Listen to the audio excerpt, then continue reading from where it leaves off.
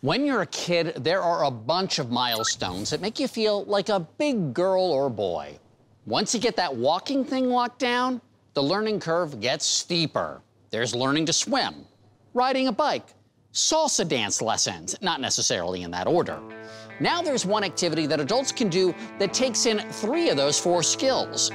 Maybe all four if there's a boat nearby playing the right music. This is the Manta Bike, and it's the creation of inventor Guy Willis Howard of New Zealand. An entrepreneur at heart with a passion for cycling, this Kiwi dreamt of building a bicycle on water for years. Guy spoke to me from near Auckland. Welcome to Innovation Nation. Hello, Mo, and thanks for having me. What exactly is a hydrofoil bike? Because it sounds really cool. A hydrofoil bike is a bike that travels on foils, and I should explain what foils are. They're like a plane wing. They have a small foil on the front of the bike and a bigger one on the back. So the faster you move forward, you get this upward lift the same way that you would if you was traveling in a plane.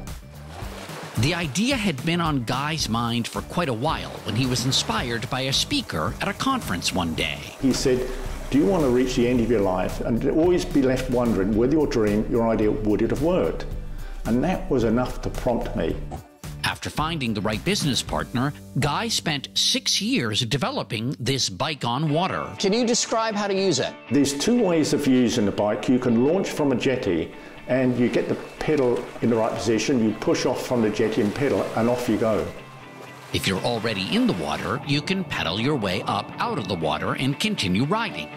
It's called a submerged launch. The bike works by pedaling it. You've got a propeller that faces forward the same way as a propeller would be on a wing. So when you pedal a bike, it pulls you forward and the foils, they travel on the surface of the water. At up to 14 miles per hour.